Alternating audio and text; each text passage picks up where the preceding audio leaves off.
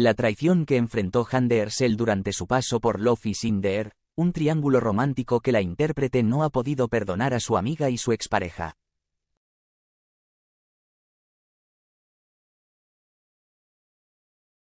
The Air, la exitosa teleserie producida en Turquía que ha cautivado a audiencias de todo el mundo, sigue siendo un referente en el ámbito televisivo.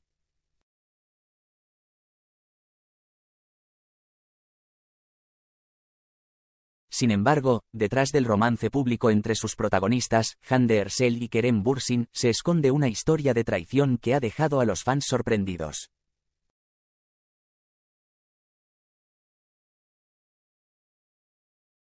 La química palpable entre Hande Ersel y Kerem Bursin en Love is in the Air no solo se limitaba a la pantalla, ya que confirmaron que estaban en pareja en abril de 2021.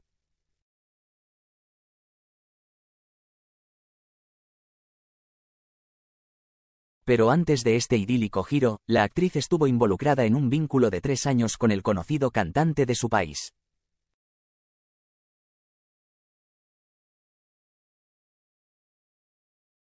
Murad Dalkilis, comprometiéndose en febrero de 2020, aunque la historia llegó a su fin en agosto de ese mismo año y no llegaron a pasar por el altar.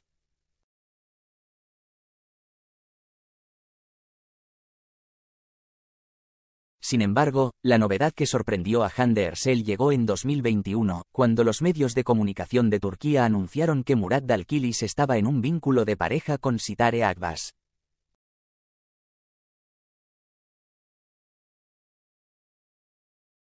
La actriz que interpretó a Fifi en la primera temporada de la teleserie Love is in the Air,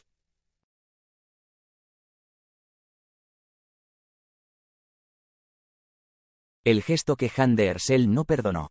Aunque ni Murad Dalkilis ni Sitare Akbas confirmaron oficialmente su romance, sus cariñosas imágenes juntos dejaban en evidencia que les unía algo más que una amistad.